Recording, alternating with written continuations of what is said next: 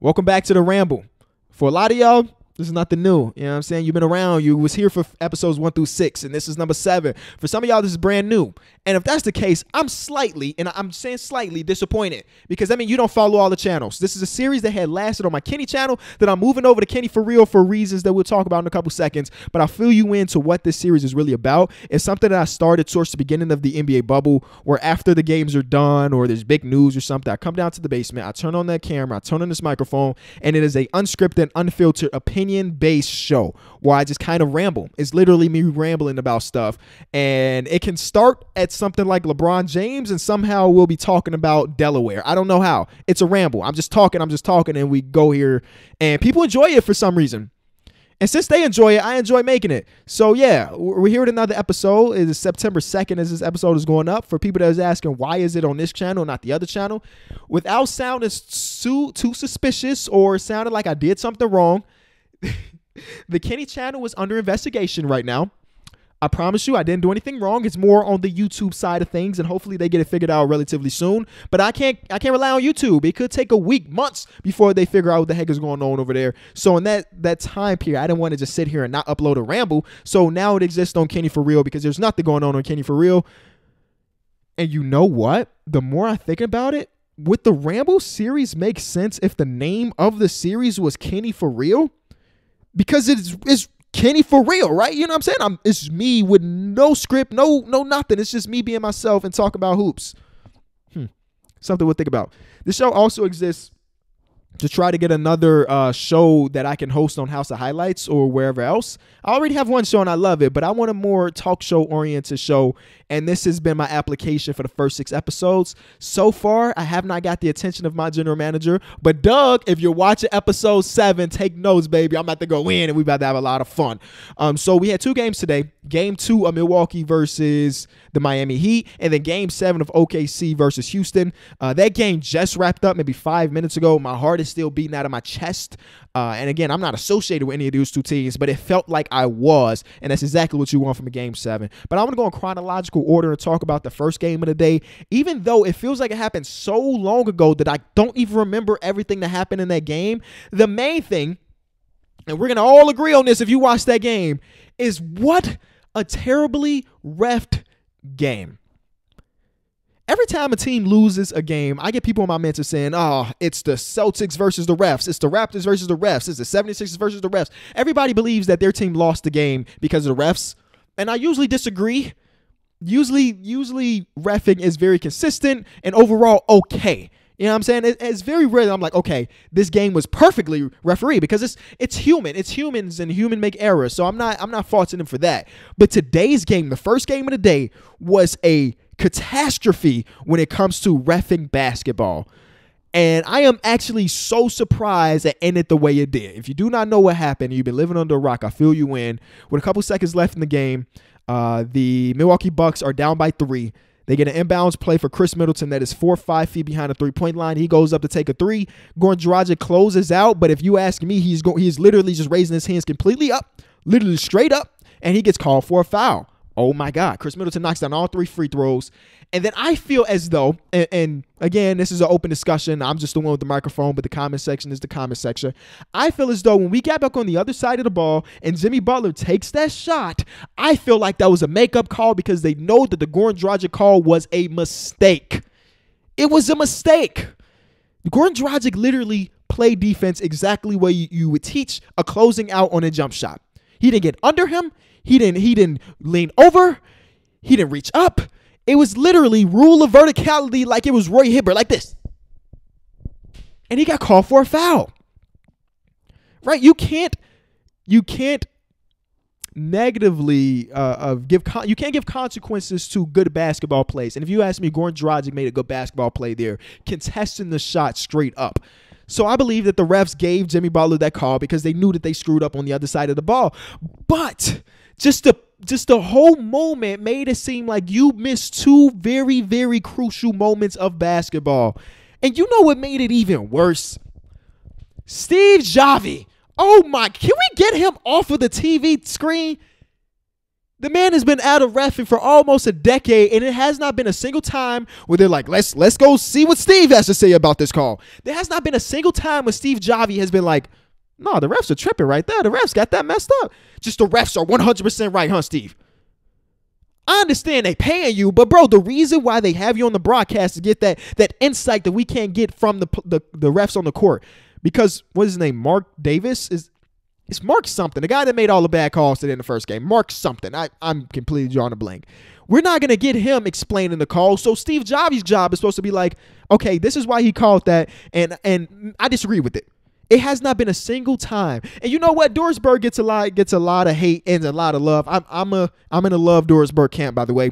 She went in. She went in on Steve Javie like, I'm to tell you I disagree with that one, Steve. Telling the man straight up to his face, the guy that had refereed for decades, no, you're wrong. Because he was. He was. He was just backing his referee brethren, and that has been a problem. And not just refereeing, but a lot of different professions recently. We're like, no matter what, you're gonna you're gonna back up the brethren that is in the same um, or occupation as you. And it's not always the case. It can't be the case. If one of my coworkers is wrong about something, I should be able to openly disagree or tell him that he's wrong, and both of us get better from it.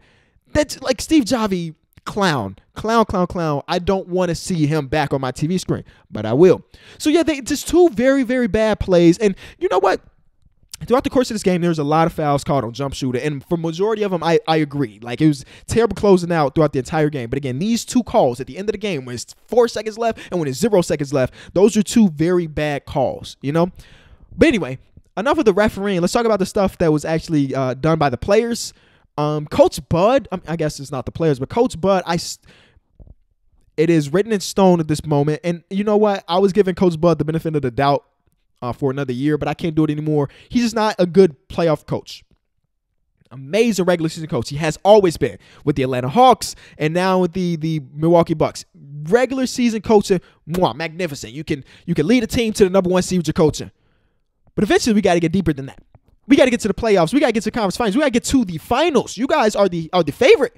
You can't get eliminated in round two, but right now you are on this trajectory to get eliminated in round two. And again, it's a combination of a lot of things. We're going to focus on Coach Bud here. The rotations are still very confusing to me. I understand, yeah, like why is Giannis not playing more? He is the MVP of the league. He is your star player, and though the the uh, the Miami Heat have done an amazing job guarding him throughout the course of this series, if he is who we say he is, if he is who we think he is, he has to play more minutes. This is playoff basketball, coach. But 36 minutes, 38 minutes is literally not enough for a guy like him. If he as he is as good as he is on the offense side of the ball, and as good as he is on the defense side of the ball to win defensive player of the year, there's no reason why he shouldn't play 40 minutes a game. Now understand, in this one he was in and out of foul trouble. Understood. But I'm not even just talking about game two at this point. I'm talking about game one. I'm even talking about the last series. And even though they got out of that in five, you still wonder why the heck is Giannis not playing more? Why is he not playing more? And there were times in this game, and maybe I'm answering my own question here, where the team went on runs without Giannis on the floor. So I guess I am answering my own question. That's why he probably wasn't in the game as much. The teams went on these these small 8-0 runs, you know, 6-2 runs, you know, just stuff like that to, to get into the game uh, without him on the floor. Man, it's this is this is gonna be a very critical series for Giannis, man. He's starting to get to that point where every star player has gone through this where like we, we transition from oh it's okay kid uh, you'll get them next year to like okay here's let me see some results because what I'm seeing from the second round of the playoffs from him is that though he is a very dominant player, if you let him get a full head of steam, if you don't allow him to get a full head of steam, he is going to struggle. He's going to struggle, and he hasn't incorporated things into his. Jump. You know what? That is that's cap because to the beginning of the season, he was shooting those mid range jump shots with confidence, and now we rarely see him. I don't know what happened to him over the course of the season, but he was going. He went from a player that again, it wasn't super reliable, but it was he was doing it enough where teams would have to step out on him, and that opened things up so much more for the entire team. If he could step in and take that mid range jumper, or he can step in and take a three pointer here and there, and it's got to the point where he has lost all confidence in that. And the one time he did show confidence in his game, he stepped into a three. The dude hit the whole side of the backboard, way off it's just like, man, Giannis, bro. I, again, I root for everybody, but a player like him, I'm exact. I'm really rooting for because the small market teams deserves things like this. But man, it's, it's he's making it very hard for uh, his case to be the best player in the NBA if that's the case he wants. You know, so um, Miami did this without Jimmy Butler even having a good offensive game. Again, Jimmy Butler is an impactful player, even if he's only scoring 11 or 12 points or whatever ended up being. Um, even though he did almost sell on that one pass. Oh, he almost sold in that one pass. Um, and then he missed a free throw too, didn't he? Oh, also with Giannis, he's just got to be better at the free throw line, man. He just has to be. And like you can see him, he people compare him to Shaq all the time, and he's looking like Shaq at the free throw line. But I, I give a lot of credit to the Miami Heat, from to Erik Spoelstra, to everybody that played minutes in this game, had their own little impact. Tyler Herro, bro, Tyler Herro is so fun to watch. He plays this swagger that that you don't really see from rookies like that. And if you do see it from rookies, it's like the Ja Morant type rookies. It's not really like the guy that was drafted after 10 plus, getting, you know, that type of confidence. And, and maybe that's just the Miami culture. And when I watch the Miami Heat, I'm so jealous. I am so very jealous because of all the culture and everything. But Jimmy Butler's on that team, and he was once on my team, and he's very, very good. And he could have been very good on my team still. But back to Tyler Herro. Uh, when I saw him and saw his shoes he was hooping in, I was like, you know what? This is going to be a game. He's planning those Kobe's that released last Mamba week, the undefeated collaborations. I think they were Kobe fives, the Protro, and maybe somebody in the comment section could correct me if I'm wrong. But they um they're the undefeated collaboration. And when I tell you I struck out on those and all the other three Kobe shoes they released in Kobe week or Mamba week, uh, but those are the ones I wanted the most. And if you look at the resale, they're like at two thousand dollars now. And I'm not making Tyler Herro money, so I will not be getting those undefeated Kobe's. But I saw him on his feet, and I was like, you know what? He gonna have a game, and a game he did have. Um, just coach, Coach Bud. The series is not over. Obviously, we've seen teams come back from down 2-0, but it's they're making it very tough for anybody to believe that they can make a comeback. And then we get to the last game of the night, Game Seven, Houston Rockets versus OKC. Um, a similar situation in this game. The ref was was bad. It's just overall a bad day for refs. I feel like the NBA has got to this point where like we're reviewing so many things, it's just killing the flow of the game. I cannot be the only one. Whether it be like I'm okay with the coach's challenge. I believe that the coach's challenge can be a very important thing in basketball. I mean, I know it can be very important because if if Goran Dragic and, and the Erik Spoelstra and them, if they had their coach's challenge, Khris Middleton don't get those three free throws because the refs are able to review that. And if Milwaukee hit their coach's challenge. Maybe Jimmy Butler don't get that last one. So yeah, the coach's challenge could be very impactful. But all the other stuff, we got to see if this is a flagrant. We got to see if this was unnecessary force. it could just kill the whole vibe of the game, especially since it's not just okay. I'm looking, I'm looking, I'm looking. Okay, we done in 30 seconds. We're talking four or five minutes are being spent on a play where Kyle Korver's just closing out. And sure, he did get under Chris Middle. No, he get out. He got under somebody. He got under. Iggy. It was under Iggy. And I'm somehow I transitioned back to game number one, but this is the one that's on my mind right now. Yes, he did get under, and sure, that is unnecessary for sure. If that's the rule book, it's a flagrant. But did you really need to review the play for five minutes to see that? I saw that from the crib as soon as it happened. Like, what the heck is going on? Steve here, Steve Javie. Yeah, I think that's a flagrant. No, yes, we saw it too, Steve. Anyway, getting back to the other game. Um, like I mentioned earlier, my heart was beating crazily throughout these last couple minutes. Game seven, Lu Dort was a was something, bro. Think, thinking about him is just he signed a like four year, five million dollar contract earlier in this season, and now you, I bet he is kicking himself from signing that long term deal for that amount of money because he has showed how impactful he can be as an NBA player.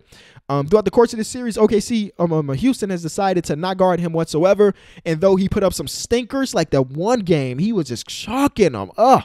He had a game seven where he put up 30. And it's it's unfortunate for him. And I think I saw him crying when he was leaving the court. And I understand the emotion. He had the best game of his career, his entire career. And the thing people are going to talk about the most is his turnover after his block shot on James Harden. Um, that's what people are going to talk about the most, which is unfortunate because he had a spectacular game on both sides of the ball. James Harden couldn't do anything offensively. He was in Alcatraz. Lu Dort had that man on clamps. 30 points too. But it was just that slow release. And shout out to James Harden for getting out there and closing out. James Harden's defense is way better than it was four years ago when he was the laughing stock of the NBA. Um, I was I was happy with the Chris Paul game just a couple possessions down the stretch. I just wish that he would have took took control like we know he has been throughout the course of this series and the course of this season. But that last play specifically, the one that ended in Lu Dort taking a shot and they getting blocked, um, giving a lot of credit credit to I'm getting credit to D'Antoni. He knew who he knows who Chris Paul is and how Chris Paul closes out these games. So when Chris Paul gets the ball off the catch, they send a double team immediately. Literally, as soon as he touches the ball, and they get him, gets the ball out of his hands to Shai Gilgeous-Alexander, who who has to launch it across the court to Lu Dort. So shout out to Houston Rockets and, and Mike D'Antoni for clamping up not even just that last possession, but shoot the possession after that when they try to get the inbound and somehow it goes to Steven Adams instead of the lob to Steven Adams that was right there. But the last couple minutes, the Houston Rockets really got it in on the defensive side of the ball, and that is the reason they won this game tonight. Shout out to them. And they're going on to play against the Lakers. And, well, that's a series. Small ball versus the Lakers who run like a two center lineup. That's gonna be something something to see. Um, but I give a lot of respect to Robert Covington. Robert Covington's a meme throughout my YouTube career, but everybody knows uh, if you've been really watching for a long time that I really am a fan of Robert Covington. It just so happens in NBA 2K20 he sucks, but uh, Robert Covington is an impactful player, man. Offensively, defensively, he had one of the best games of his season today, and they needed it. They needed exactly that. The man was hitting like step, not step back, but side step threes over a contest. We're like, dang, Rocco, can you slow down? And yeah, I just wish I wish that Chris Paul would have been able to get a shot up because he has been a clutchest player in the NBA. But it is what it is, man. OKC one heck of a series slash season uh, especially when you look at that that one graphic that says like OKC had a 0.2% chance of making the playoffs before the season started, according to like ESPN. And then they got all the way to the playoffs and took the Houston Rockets to seven. It's one hell of a season. Um, I'm trying to think if there's anything else about this game specifically that's worth talking. I don't think it really is. I mean, it was a cool game. I'm more going to talk about OKC's future because I think that is like up in the air right now because there are a lot of different directions that this team can go. And if you ask me, I think Sam Presti is going to pull the trigger on maybe a Chris Paul trade this offseason um, while his value is still an all time high. Uh, okay, not an all time high because that man was very, very valuable when he was in New Orleans, but at a high in the recent years at least. And I think they probably hit the reset. You know? Like, what's the ceiling on a team with, with an aging Chris Paul? And the players they have now. Probably not very high, but if you keep Shai Gilgeous-Alexander, which they will, you keep Lu Dort, you keep all these draft picks that, picks that you have accumulated, plus an additional draft pick maybe with a Chris Paul trade. Uh, Sam Presti's a smart guy. Sam Presti's a smart guy, and I think that that would probably be the route he goes. But anything can happen, right? If he does bring back Chris Paul and bring back Gallinari and say let's run it back, I wouldn't be surprised either. But I think there's a ceiling on this team, and maybe we just saw that ceiling, you know, especially with Chris Paul getting older. Now I know he, he switched to veganism, and that's one of the main reasons he was able to stay healthy this season. But he is still an aging NBA player, an aging point guard at that. And one of the positions that relies a lot on athleticism. Um, so I if I was him, if I was Sam Presti, I would be like, okay, let's see what we can get for Chris, Christopher Paul while he's still an All-Star caliber player.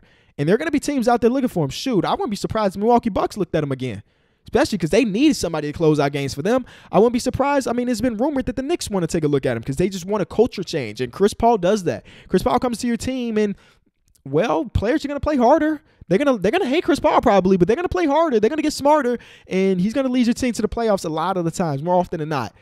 Um, but OKC has one of the most curious off seasons ahead of them.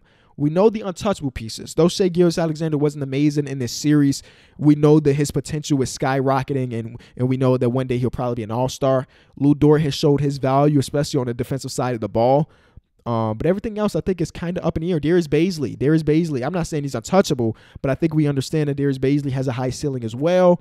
Um, but everything else should be on the table for Sam Presti and OKC. And I, and I'm saying as an outsider, I wonder what the OKC fans think. I mean, you may you maybe you're OKC fan, you're watching this video. What would you think about your offseason?